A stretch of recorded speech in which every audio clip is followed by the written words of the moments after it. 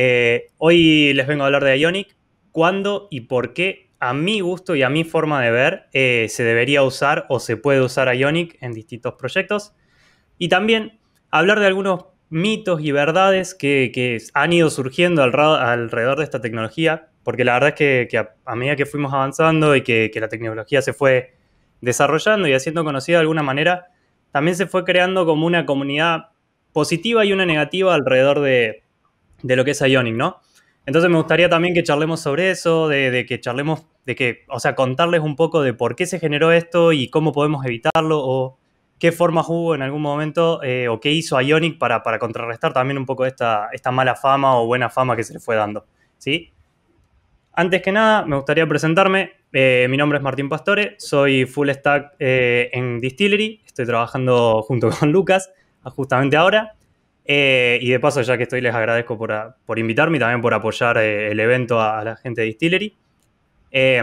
soy coorganizador de la RIA Córdoba y acá va el primer chivo del día tenemos una banda de eventos, estamos haciendo workshops y un montón de cosas para, toda la gente que quiera aprender React o que quiera mejorar o que quiera empezar un poco a meterse en este mundo. Eh, tenemos un Discord para el que la gente pueda hablar y demás.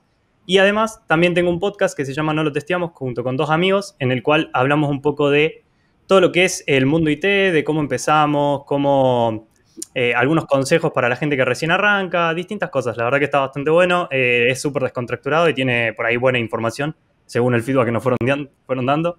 Así que si tienen ganas lo, pueden aprovechar. Pero bueno, sin más dilaciones, eh, básicamente voy a empezar la charla con esta pregunta que de alguna manera fue la, pregunta que yo me hice o con la que yo arranqué en el rubro de cuando empecé a investigar de Ionic, ¿no? O sea, en algún momento me acuerdo que recién arrancaba, estaba haciendo eh, Backbone, aprendiendo React, algunas cosas. Eh, me habían enseñado Angular 1. Y me acuerdo que lo primero que, se me ocurrió en un momento, por, como típica persona curiosa, fue preguntarle a, a Google cómo hacer una app para Celu con JavaScript. Así, tal cual como la ven a la pregunta, fue como yo la googleé. Y me acuerdo que, que cuando vi la lista de resultados, había varios, varias alternativas, una era PhoneGap, eh, no me acuerdo, hay varias de esas, pero entre ellas había una que era como la más destacada y que mucha gente como que repetía, que era Ionic, ¿sí? Ionic en ese momento estaba en su versión 1, entonces eh, entré como a darle un poco de vueltas, empecé a ver un poco la tecnología en sí, empecé a meterme en la comunidad, en los foros y vi que había mucho soporte, que había mucho apoyo, que estaba realmente creciendo, creciendo mucho la comunidad, que estaba creciendo mucho la tecnología y sobre todo lo que vi, que no veía en las otras, es que había un plan. O sea, Ionic en ese momento tenía un plan de crecimiento, estaba pensado eh, como para, progresar en el futuro. Entonces, bueno, empecé a, meterle un poco más de ganas, empecé a estudiar un poco más Ionic y demás, y fui a contarles a mis amigos eh, que, estaba que, que había descubierto esta tecnología, que me estaba gustando, que, estaba implementándola en un pequeño portal que estaba haciendo de noticias y demás para, poder visualizarlas desde un teléfono y demás.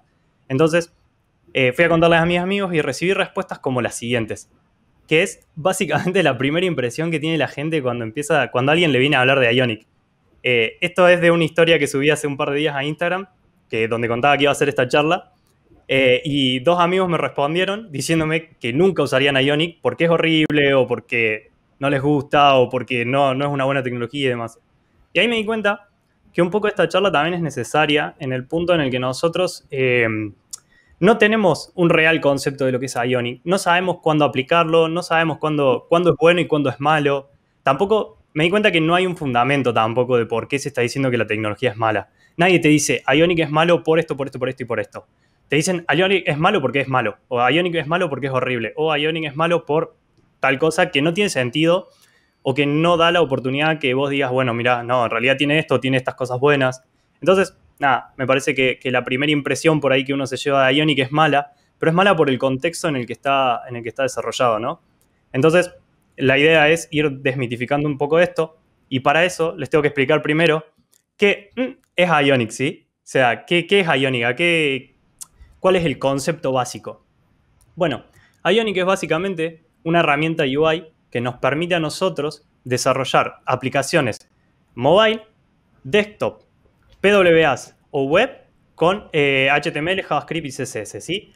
Y ahí es donde está lo loco, que nosotros con solamente tecnologías web podemos hacer cualquier, eh, para cualquier plataforma, básicamente, ¿sí? Eh, hoy se puede integrar con muchos otros frameworks, como por ejemplo React, como por ejemplo Angular, pero el concepto sigue siendo, o la base sigue siendo la misma. Es, creo que hoy es uno de los que mejor aceitado tiene el tema del cross-platform, ¿sí? Entonces, ahora me imagino que ustedes me preguntarán, mobile, desktop, con React, ¿cómo haces? O bueno, con React, con Angular, con, cualquier tecnología web, ¿cómo haces? Bueno, el concepto es bastante simple. En el caso de, de mobile, que es lo que voy a hablar primero y para lo que está enfocado esta charla, entonces no me voy a ir mucho por el lado de desktop, pero el concepto es bastante simple. Eh, Ionic usa de base navegador eh, WebViews, ¿sí? Para renderizar aplicaciones eh, en dispositivos mobile, aplicaciones como tal.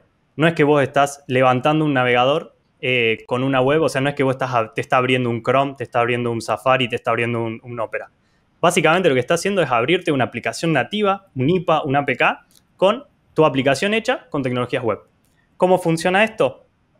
Básicamente funciona, eh, no sé si alguna vez, creo que el ejemplo más práctico que tengo siempre es, si alguna vez entraron a Twitter o entraron a Instagram y vieron, por ejemplo, una de esas publicaciones promocionadas que les suele decir, no sé, por ejemplo, eh, el de, tenés 30% de descuento en zapatillas entrando en este link. Y ustedes entran en ese link, hacen clic y ¿qué es lo primero que abre? No les abre el Chrome, no les abre el Safari, no les abre Opera, no les abre otra cosa. Tampoco se abre, eh, tampoco es que va a un, un, tweet o algo en particular. Sino lo que hace es como que se despliega una pantalla, por lo menos en Android, una pantalla completa que tiene una URL arriba, tiene eh, un signo de, recargar y un signo de compartir y nada más. ¿sí? Bueno, eso, básicamente, es un WebView.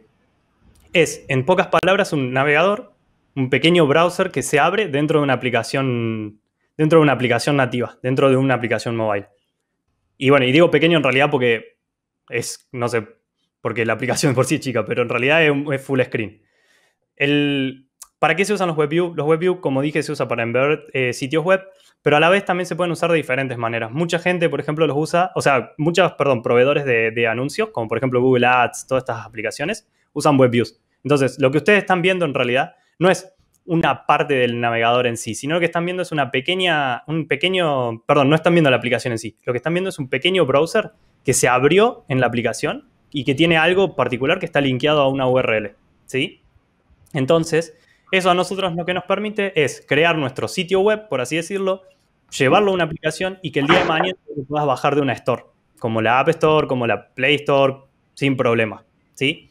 Eh, otra cosa, por ejemplo, también se suelen usar cuando uno necesita, no sé, por ejemplo, vos querés eh, traerte, tenés un sitio web con términos y condiciones y decís, ah, no necesito crear el sitio web o no, necesito, perdón, crear la pantalla de términos y condiciones en mi aplicación, eh, porque en realidad ya lo tengo en la web y es duplicado y no tiene sentido, entonces, ¿qué voy a hacer? Prefiero embeber un pedazo de sitio web y listo, y me ahorro todo el problema de crear esa vista. Bueno, básicamente es por esto.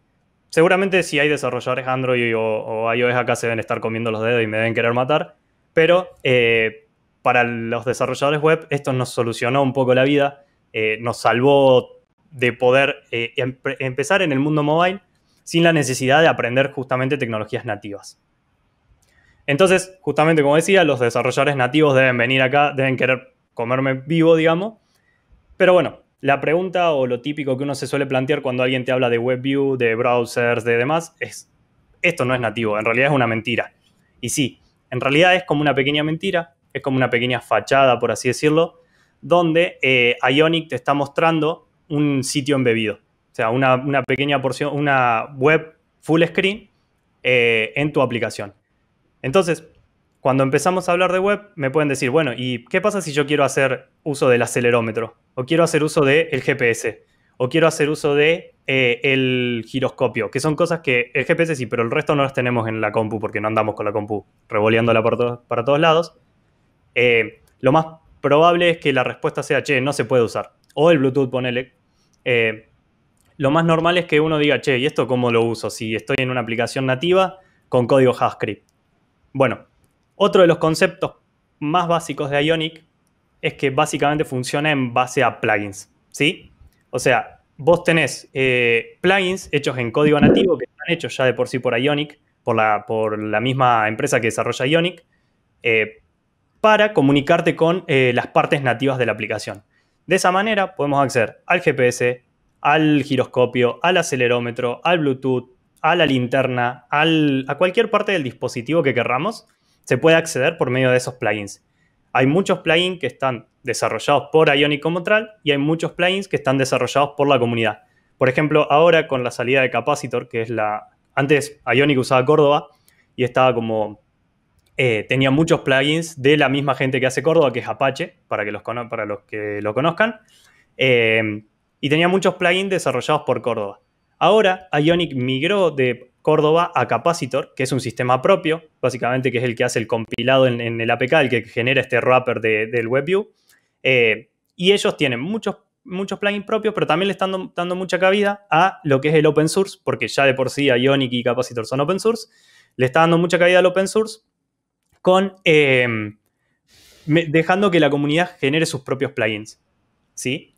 Algunos de los plugins que tenemos hoy, por ejemplo, vigentes en Capacitor son el Single Sign-On, el login de Facebook, la OAuth 2, el Fingerprint, el, todo lo que es Firebase, Twitter, el Google Sign-In, el Face ID, o sea, y hay muchos más, ¿sí? Entonces, estos, estos son hechos por la comunidad, gente que sabe de, nativo, generó el puente entre JavaScript y, Android, eh, perdón, y Android o iOS en nativo, y eh, puso los plugins a disposición de la gente. Estos son configurables, son súper prácticos, en general se hace bastante rápido, así que está, muy bueno. En ese sentido está muy bueno lo que se hace con, lo que se puede hacer con plugins. También, algo de lo que le quería hablar en, algún punto, son un poco las tendencias. Eh, básicamente, no porque venga a pelear con la gente que hace Kotlin o con la gente que hace Swift, porque me parece que no tiene sentido y que ellos realmente lo que hacen es muy potente y tiene mucha, mucha validez. No hay, o sea, no hay, no hay ninguna necesidad de, discutir sobre tecnología, sobre cuál es mejor y peor. Simplemente para mí nativo siempre va a ser mejor. Eh, pero Ionic, lo que les quería mostrar con este trend es que siempre se mantuvo relativamente en, una, en una planicie, siempre estuvo bien. Nunca estuvo muy arriba y tampoco estuvo muy abajo. Eh, hace desde el 2015 más o menos que tiene una, tiene una, curva constante eh, de gente que lo usa, una cantidad bastante grande de gente. Eh, la comunidad está llena, eh, los foros están llenos de preguntas y llenas de gente que responde. Entonces, eso habla de alguna manera bien de Ionic, porque al ser una tecnología que de alguna manera también la gente no, no termina de aceptar o no termina de ver como viable, sigue teniendo crecimiento, sigue teniendo, em, sigue teniendo comunidad, sigue teniendo gente que la usa, sigue teniendo gente que la apoya. Eh, entonces eso me parece que estaba muy bueno y lo quería mostrar, eh, más allá del crecimiento obvio de Kotlin y del crecimiento de, Swift. Eh, me gustaba mucho la idea de mostrarles cómo, estaba, cómo se veía Ionic a nivel de, a nivel mundial y a nivel de gráficos, a nivel de usuarios. ¿sí? Ahora, un poco algo de lo, de lo, que también me gusta, lo que quiero hablar y es por lo cual Ionic entra, para mí sigue estando fuerte y es porque lo cual Ionic se sigue se sigue teniendo en cuenta en, muchas, en muchas tecnologías, en muchas empresas o, se sigue teniendo en cuenta en muchos desarrollos, es por el famoso concepto de Write Once, Run Everywhere. Y no, puedo, no puedo hablar prácticamente de esto sin contar un poco lo que es cross-platform. Lo han estado viendo con Kotlin en las charlas anteriores, lo han estado viendo con Flutter. Eh, cross-platform prácticamente lo que lleva es que usamos una misma base de código para todas las, para todas las tecnologías. Eh, de eso se trata también el, Write Once eh, Run Everywhere. Básicamente que tenemos eh, un código, o sea, escribimos el código una sola vez, perdón, escribimos el código una sola vez en, una tecnología y lo compilamos a lo que sea sin la necesidad de eh, ir modificándolo para cada plataforma en particular. Y acá es donde creo que Ionic tiene su punto más fuerte, que es donde en realidad Ionic es el que mejor está trabajando con las tecnologías, con todas las tecnologías, porque Kotlin fue pensado en un principio para, para Android, entonces hoy tiene muy fuerte Android, iOS está mejorando, lo está teniendo, pero le sigue faltando la parte web y la parte desktop. Eh, Flutter, lo mismo, está muy pensado para Android y iOS, la parte web todavía sigue estando muy verde. En cambio, Ionic, la parte web es la que mejor se le da porque es su parte nativa. La parte de desktop la tiene bien pulida, porque eh, tiene, tiene framework que lo aportan, que lo apoyan, perdón. Y la parte de mobile más o menos está bien trabajada, se mantiene, eh, tiene un buen, eh, un buen nivel. No es quizás para aplicaciones tan complejas, pero está ahí y se puede usar y no necesitas reescribir el código muchas veces, no necesitas tocar prácticamente configuraciones. Entonces, en ese sentido, me parece que Ionic es el que mejor, hoy el que mejor está llevando este concepto adelante. Por lo menos por ahora. Más adelante lo podemos volver a discutir, pero por ahora me parece que, que es de lo mejorcito que uno puede encontrar cuando trabaja sobre, sobre cross-platform, cuando tiene equipos que necesitan hacer una, una misma plataforma o lo que sea para todos los dispositivos. Entonces, les conté que todo esto se puede hacer. ¿Cómo se puede hacer? Eh, en Android y iOS, ya lo hablamos, es la parte del WebView. Eh, no, no voy a entrar más en detalle en eso, me parece que si no, de última después lo vemos en, el QA, pero me parece que está, bastante claro. La parte de web es su parte nativa. En Ionic hoy lo que vos básicamente haces, después les voy a mostrar un poco más adelante, eh, la idea es mostrar un poco el código y demás, pero básicamente lo que vos haces es una aplicación web, la levantás como una aplicación web, podés debaguearla en un browser, podés, eh, podés no sé, estilarla como si fuera con, una página común y demás. Entonces su parte nativa es su parte más fuerte, por así decirlo. Desktop. La parte de desktop es súper importante porque hace un tiempo nació lo que era Electron, que es una, un, framework que básicamente nos permite crear aplicaciones para, escritorio compilar en un, en un exe, por ejemplo, o en un, no me acuerdo cómo son los de Mac, pero, pero básicamente nos permite compilar en un ejecutable de desktop, de computadora. Y eso está bastante bueno, porque me imagino, por ejemplo, en su momento Pedido ya tenía una aplicación de desktop para, para manejar todo el tema de los pedidos del lado del cliente y demás. Y tranquilamente se podría haber hecho con Electron eh, y podrían haber tenido todo en uno, un, compilado bastante completo. Y algo que surgió hace muy poco y que me parece que está muy bueno y de lo que no se, creo que no se habló en, en el, en el Connect Day es PWA.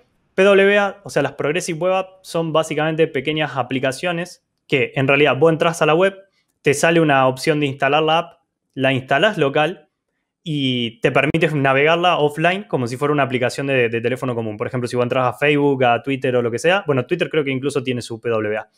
Eh, em, podés entrar a, Facebook, a Twitter, lo que sea, navegando offline y no como en una web que si no tenés internet te sale el dinosaurio de Chrome y ya no podés más, más usarla. Básicamente, eso es lo que te facilita.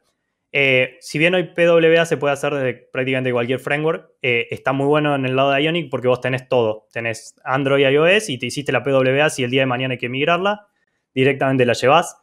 No tenés ningún problema, eh, no tenés que cambiar código, no tenés que, hacer, no tenés que rehacer nada, ya está hecho. Es simplemente poner a andar los server workers, ponerla en un, en un dominio HTTPS y listo. Entonces, nada, me parece que en ese sentido, bueno, Ionic lo tiene como bastante cocinado lo que es el, multiplataforma, los equipos y demás. Quería también contarles eh, un poco algunos pros que tiene, que tiene Ionic eh, y también tengo un montón de contras. Eh, no es que me voy a quedar solamente con esto. Pero bueno, los pros Básicamente es que tenés una sola base de código para varias plataformas, esto es lo que venimos hablando, eh, no necesitas modificar absolutamente nada, no necesitas tener, hoy estuve viendo la charla de los chicos de Kotlin que estuvo muy buena, pero por ejemplo algo que vi es que ellos tienen una sección de que es la base, donde tienen todo, eh, todo compilado, después tiene todo, perdón, todo lo que es genérico, y después tienen exclusividades para Android y iOS. Bueno, en, en Ionic eso no hace falta. Vos necesitas eh, tener código funcional diferente para que tu e-commerce, por ejemplo, tenga los mismos resultados de uno o del otro lado, eh, no necesitas hacer ninguna variación, no necesitas tener, llamar a diferentes funciones y demás. O sea, eso va, a funcionar de base porque ya es simplemente siempre la misma web, básicamente. Em, costos reducidos en desarrollo, desarrolladores nativos y mantenimiento. Vuelvo a lo mismo, esto no, he encontrado, no tengo nada en contra de desarrolladores nativos, pero muchas veces las empresas o los equipos no son tan grandes, no tienen el presupuesto como para bancar a un equipo de nativos, un equipo de web y un equipo de, de, iOS, por ejemplo, un equipo de Android y un equipo de web. Entonces, muchas veces en ese sentido, eh, tener una, aplicación hecha en Ionic a vos te permite tener la web que ya estaba funcionando capaz y llevarlo a nativo, a, mobile, sin tener costos extras más que eh, el tiempo de desarrollo que tenés, ¿sí? Eh, y en el caso del mantenimiento, volvemos a lo mismo, es solamente cambiar en un lado para que todas las plataformas eh, reciban ese cambio, más allá de los tiempos de, de las stores y demás. solamente necesitas cambiar en un solo lugar. Entonces, eso, básicamente el mantenimiento se hace muy rápido, es muy simple, los tiempos se cortan mucho. La facilidad de mantenimiento mediante herramientas built-in browser y las herramientas de debugging. ¿Por qué viene esto a colación? Básicamente, si bien, o sea, en mi caso, por ejemplo, yo no sé debuggear en Android, eh, lo intenté un montón de veces y no lo entendí nunca, pero es porque, también porque soy nulo, pero en el caso de, Ionic, antes de llevar tu aplicación a una aplicación, a una APK o a un IPA, antes de llevarla al compilado que ves en el teléfono, siempre tenés la posibilidad de trabajarla en la web de debaguear todo lo que estás haciendo en la web, de ver cómo funcionan los plugins en la web, porque encima cada plugin generalmente suele tener su implementación mobile, o sea, para Android y iOS, y su implementación web. Entonces no quedas eh, en ese limbo donde, che, lo puedo probar solamente en Android porque uso alguna funcionalidad nativa o algo de eso.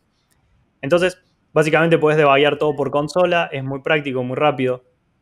Y en el caso de que ya hayas compilado la app, que suele pasar que muchas veces vos compilas la app la llevas a. La llevas a. la, estás debagueando, la estás viendo, y ves que algo falla, que no te funciona como en la web, tenés la posibilidad de eh, conectarla al USB, ir a un remoto, al remoto de Chrome, a la consola remota, y ver qué está pasando en tu app por dentro, qué es lo que está fallando, qué errores te está tirando la consola. Eh, y eso está muy bueno, a mí me salvó muchas veces la vida, por ejemplo, mucho con los plugins de inicio de sesión con Google, que por ahí eh, el, el, provider le falta algo, le falta una idea, le falta le faltan permisos, lo que suele pasar es que le faltan permisos. Eh, entonces cuando vos estás debagueando y ves que, te falta, que en tu web te anda bien y que en el, teléfono no te anda y no entendés por qué, le puedes tranquilamente, lo puedes llevar, puedes ver el remoto y decir, bueno, mira, está fallando porque tengo, porque no me faltan permisos del lado de, Google. Vas, le das los permisos y anda bien. Eso es, la verdad que es súper valorable, a mí me sirvió mucho, muchas veces. Em, la posibilidad de transformar tus apps en PWA o aplicaciones de escritorio, lo que mencionaba antes, no necesitas hacer ningún esfuerzo prácticamente extra para poder tener una, desktop app o una PWA. Es simplemente decirle a Ionic que querés buildear eso y Ionic automáticamente lo interpreta eh, en base a su CLI y dice, che, bueno, está bien, tag y te escupe un, ejecutable para, web, para desktop, perdón, o te escupe un, build para, para PWA con el server worker, todo configurado. Eso la verdad que también está genial, es súper práctico, sobre todo porque algo que me olvidé de mencionar y que no está acá pero debería estar, es que Ionic te permite a vos agregar, eh, agregarlo en, una vez que ya tenés desarrollada la app. Una vez que vos agarraste, ya empezaste la app y demás, y después te diste cuenta que la querías hacer mobile también, eh, podés meter Ionic en el camino. No, no tenés que hacer ningún tipo de migración. Tiene una extensa librería de UI. Esto es mucho, muy importante porque básicamente algo que se busca mucho y que generalmente suele ser un punto de dolor es que las apps, o se solía ser un punto de dolor muy grande, es que las apps de Ionic generalmente parecían, eh, seguían pareciendo webs. Vos le dabas vueltas, les dabas vueltas, pero seguían pareciendo webs. O sea, no, no, nunca sacabas esa, esa imagen de, web responsive de, la aplicación.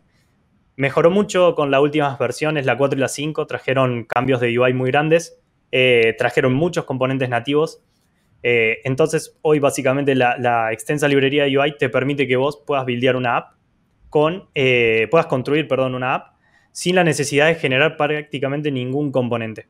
O sea, no, no, hay que generar, no hay que hacer ningún componente genérico, lo vamos a ver un poco más adelante, que, hice una app anoche en un par de horas como para mostrar el desarrollo. Y la verdad que no, o sea, Look and Feel es como una app que recién arranca en Android, que después podés restilar y todo lo que vos quieras, pero es tal cual y está muy bueno eso. Y sobre todo, y muy importante para mí, es la buena documentación que tiene. Cuando vamos, cuando vamos a la documentación de Ionic, realmente nos encontramos con información accesible, con información fácil de leer y con resultados. Eh, cuando yo siempre que tuve una duda, la documentación de Ionic me lo supo solucionar. Eh, está todo súper explicado, paso por paso, comando por comando, eh, código por código lo que tenés que hacer. Todas las, todos los componentes están súper bien documentados y demás. Entonces me parece que, es un punto, punto, a favor para Ionic el hecho de que, de que la documentación esté tan bien armada, que eso no suele pasar en todas, la verdad, en todas las librerías. Pero no todo está bueno, no todo es tan bonito, no es, no es como que yo no les estoy vendiendo a Ionic, así que también les voy a contar las cosas malas que tiene. Eh, La primera es la más importante y el punto de dolor más grande que tienen todos los desarrolladores que alguna vez han tocado a Ionic, que es la performance.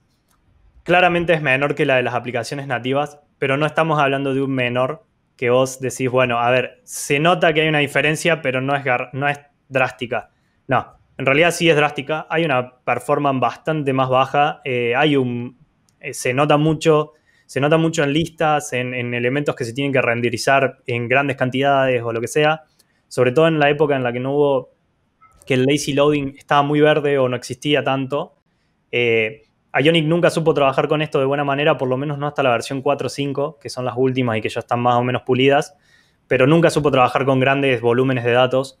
Entonces, la performance se nota mucho, se nota mucho cuando intentas acceder a una cámara, se nota mucho cuando intentas usar el GPS, se nota mucho cuando levantas, cuando bajas la app a modo background. Eh, hace poco nos tocó trabajar con una app hecha en Ionic que justamente nos llevaba al que nos llevaba al modo background y teníamos que hacer un montón de cosas en el modo background. Y la realidad es que no todos los teléfonos están preparados para eso, eh, y menos si la aplicación, o sea, si no tenés el manejo de memoria que podrías tener nativo. Entonces es un contra muy grande. Por eso después van a venir mis recomendaciones de por cuándo y cuándo no usarlo, pero un punto de dolor muy grande y es algo que yo creo que en algún momento Ionic va a estar trabajando, pero al día de hoy eh, no hay ningún resultado, así que está como un poco verde. Dependemos de plugins para casi todo. Esto es súper heavy. Eh, en el momento en el que vos necesitas hacer algo y te das cuenta que, que lo tenés que hacer sí o sí por plugin, por ejemplo, no sé, se me ocurre acceder a la linterna. En el momento en que vos necesitas prender la linterna, no sé, la aplicación, por ejemplo, esta aplicación de Motorola de, sacudir y prender, sacudir el teléfono y prender la linterna. Eh, eso en Ionic dependería de un plugin, ¿sí? Porque no puedes acceder a la linterna por el, por el JavaScript en sí. Entonces, al necesitar un plugin, ya te hace que tengas que configurar cosas eh, que por ahí, si el plugin falla, vayas a tener que ir a tocar a Android o, a iOS algunas cositas de configuración. Eh, entonces eso se vuelve un punto de dolor a la larga porque es, empezás a tener una aplicación llena de plugins para cualquier cosa que quieras hacer. Entonces ahí no, para mí no está buena. No hay how to reload una vez buildeado. Como dije, eh, tiene, es muy fácil de vaguear en la web y es muy fácil de vaguear en el, tema de cuando tenés el teléfono conectado, ver qué está pasando en la consola y demás. Pero una vez que está buildeado, eh, ya no, no, tenés, no tenés forma de que la aplicación recargue lo que, cargaste, lo que cambiaste en JavaScript. Sí, con Android, o sea, si yo cambio, por ejemplo, un texto en el Android, sí, en, en Java, por ejemplo, o en el Kotlin, sí va a pasar, eh, se va, a hacer el hot reload, pero no así si lo estoy haciendo en, si lo estoy haciendo en JavaScript, porque para eso tengo que rebuildear la aplicación JavaScript, tengo que volverla a llevar y demás. Entonces eso es un paso medio tedioso. Como contraparte de esto, generalmente cuando vos llegas al punto en que llevas tu aplicación al, wrapper nativo, es cuando ya está más o menos avanzado y ya quieres ver el resultado en un teléfono. Así que no es tan doloroso, pero está y es un problema. Y es algo que se tendría que solucionar un poco mejor. Problema de seguridad. Esto se conoció hace poco. Las versiones 1, 2 y 3 de Android fueron, las sacaron de las stores. Cualquier aplicación que haya estado en esas versiones eh, quedó fuera de las stores por una brecha de seguridad. Así que, bueno, básicamente eso es, un problema muy grande, sobre todo porque obligó a mucha gente a migrar sus aplicaciones que a lo mejor no tenían pensado o que no estaban haciendo mantenimiento, pero que sí estaban generando ingresos o lo que sea. Eso no está bueno. Eh, así que también es una contra. Y el tamaño de la aplicación. Como dije antes, si vos tenés una aplicación súper simple, no pasa nada. La aplicación no pesa absolutamente nada, pesa creo que 5 o 6 megas. Ahora, que en el momento en que empezaste a poner plugins por todo, eh, la aplicación va a crecer muchísimo y te va a terminar costando mucho más eh, en cuanto a peso de lo que te costaría una aplicación nativa que va a tener mucho menos código, porque acá son todos bundles básicamente. Entonces, en ese sentido es como un punto de dolor bastante grande también. Tecnologías, eh, algo que, también quería comentar y que me parece que está muy bueno y que tiene como muy fuerte Ionic es que hoy en día, en su momento Ionic arrancó como eh, una, o sea, un framework únicamente para Angular o JavaScript Vanilla y hoy en día creció muchísimo al punto de que tiene a React y está, está absorbiendo un poco también a Vue como parte de su, de su, de su core de desarrollo. Eh, hoy, de hecho, si entras a la documentación, te lleva directamente a la documentación de React eh, eso está, o sea, lo que está bueno de esto es que antes no había tantas alternativas para desarrollar mobile sabiendo tecnologías web. React tenía, tiene React Native hace relativamente poco. Angular tenía Native Script. Vue no tenía absolutamente nada. Y con Vanilla JavaScript eh, ibas por Córdoba, Ionic, pero básicamente estabas como muy, estabas como muy aislado a una sola tecnología o una sola oportunidad. Hoy Ionic tiene soporte para todo. Eso está realmente increíble porque, o sea, para los, yo vengo de React, o sea, vengo de hacer Angular y React y la verdad que prefiero mucho más trabajar con React, y entonces que Ionic me dé la oportunidad de seguir usándolo con React me parece increíble. Y para la gente que, que usa Vue, que está creciendo un montón también, también me parece increíble porque eh, es un framework que está creciendo un montón y que necesita también un poco de meterse un poco más en mobile. Así que nada, eso es algo que quería mencionar que me parecía que estaba muy copado. Eh, también les quería mostrar lo simple que se ve una vista en Ionic. Esto es básicamente un login. El, si bien, como comenté antes, generé, en su momento generé un componente de login que tiene dos formularios nada más. Pero básicamente no usé ningún componente extra. El formulario mismo está hecho con, componentes de Ionic no tuve que usar clases, no tuve que usar estilos propios, no tuve que usar absolutamente nada. Generé el, simplemente me traje los componentes que ya tenía Ionic creado y eh, pude generar esta vista completa que les voy a mostrar ahora en, este videito rápido que tengo acá, que no sé si van a poder ver, eh, de cómo, cómo se ve el look and feel de una aplicación Ionic sin estilar, sin nada. La idea era mostrarles que o sea, la idea con esto era mostrarles que básicamente se puede, se puede hacer una aplicación Android que luzca como una aplicación Android, que se sienta como una aplicación Android, sin demasiado detalle, sin demasiado esfuerzo tampoco y, y que bueno, que deje una buena idea. O sea, le falta mucho, faltan loadings, faltan cosas.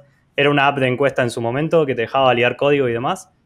Eh, pero nada, les quería mostrar un poco cómo, cómo se veía y cómo, y qué es lo que se podía hacer con Ionic sin, sin volverse loco, básicamente. Eh, creo que, no sé si... Bien. Em, supongo que después de todo este bombardeo de info y, de cosas que les fui contando, hay algunas preguntas, porque también mencioné en algún momento, dije que eh, necesitábamos Ionic, eh, que necesitamos, no necesitábamos Java, Kotlin, no necesitábamos Swift, Objective-C, pero después dije que necesitábamos tocar configuraciones. Entonces, al final, ¿hace falta o no hace falta saber lenguajes nativos? No, no hace falta. O sea, a fin de cuentas, no hace falta saber lenguaje nativo.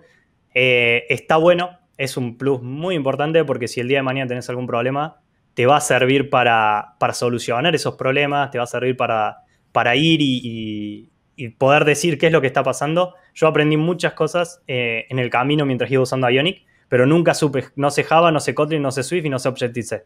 Así que no hace falta. Y tengo aplicaciones productivas hechas con Ionic. Eh, al final, ¿lo puedo subir a una App Store o no? Sí, sí se puede. Se puede si es Ionic 4 y 5 ahora por la restricción. Pero si se puede, no hay ningún problema. De hecho, vuelvo a lo mismo, nosotros tenemos aplicaciones subidas. Eh, el proceso es exactamente igual, se firma como una APK, se firma como, una, como un IPA.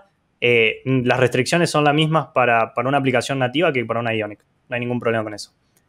Eh, para cambiar a web o alguna otra tecnología hace falta algo más, ¿no? O sea, simplemente con un par de comandos de Ionic debería poder salir andando. Digo debería porque siempre depende de la complejidad de la aplicación y lo que hayan metido, pero en general no deberías tener ningún problema más que correr el comando que lo, que lo genera.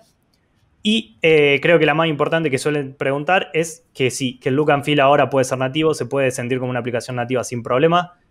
No hay no hay nada que, lo limite, básicamente, porque la UI ya está, está bastante optimizada en ese sentido y está bastante bien hecha. Entonces, ¿cuándo podemos o cuándo deberíamos hacer una aplicación Ionic? Para prototipos, para prototipos es súper copado, es muy rápida, anda muy bien. Eh, podés sacar, vuelvo a lo mismo, la aplicación que les mostré que es súper simple, pero que son básicamente 6 o 7 views la hice en tres horas anoche con un Fernet por medio. Dos. Así que básicamente no hay ningún, ningún problema. Es, para prototipar es súper rápida, sirve un montón. Tiene muchos componentes ya prehechos. Básicamente no necesitas tanto código. Algo que no conté es que esa aplicación tiene Firebase, tiene, o sea, tiene login con Firebase, tiene, eh, guarda en una base, en un Firestore datos, eh, consume esos datos también, es todo, está todo conectado y posta por muy poco, muy poco tiempo. Aplicaciones de consulta o formularios.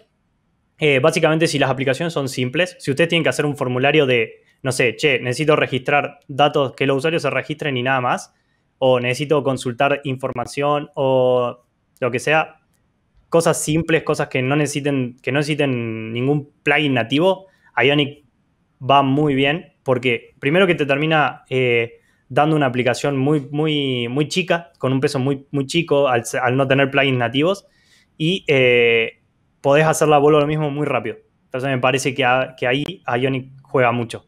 Eh, perdés menos tiempo capaz que haciendo la nativa. Incluso en el, en el proceso de debugging y demás vas a perder menos tiempo. Equipos chicos que necesiten desarrollo multiplataforma. Algo que me pasó a mí en mi experiencia laboral es que eh, cuando yo empecé a, trabajar y tuve mi primera experiencia profesional con Ionic, éramos un equipo de dos personas. Entonces, básicamente en, este equipo teníamos que hacer mobile y teníamos que hacer web. Para, o sea, mobile, Android y iOS y web. Entonces, en este equipo iba muy bien Ionic. Teníamos una aplicación bastante grande, al final terminó creciendo muchísimo, pero que andaba bien y que era fácil de debuguear, que era fácil de, de modificar y que era totalmente consistente con lo que teníamos en, en la web, porque usaba la web de por sí. Entonces en esos equipos sirve un montón eh, tener una aplicación en Ionic, porque no tenés a nadie aprendiendo nativo. Proyectos sin mantenimiento, y con esto no me refiero a que los proyectos no se tengan que mantener, sino una cuestión de proyectos que hayan tenido una fecha de fin de alguna manera, que vos decís, che, bueno, no sé, necesito hacer la app del Cosquín Rock para este año. Y son, el, el Cosquín Rock termina, empieza un día, termina el otro y ya la app nadie más la tiene, ¿sí? Entonces, para ese tipo de proyectos sí sirve Ionic, porque son rápidos, porque se codea eh, relativamente rápido, porque después el proyecto no va a escalar, no va a crecer. Un proyecto que va a quedar está, eh, ahí y de última a lo sumo se dará baja del store o lo que sea, pero no necesitas eh, seguir el desarrollo sobre la aplicación, entonces no hay escalabilidad, no tiene sentido, Ionic anda perfecto. Y cuando no, aplicaciones que requieren mucho hardware, por ejemplo, lo que dije, sensores, modo background, eh, muchas cosas con cámaras, eh, realidad aumentada, todas esas cosas, olvídense, no, no sirve, no es que no sirve, no es conveniente porque van a terminar eh, renegando más haciéndolos andar y, que funcionen bien y que anden en todos los teléfonos que si lo hubieran hecho en nativo o que si lo hubieran hecho capaz en React Native.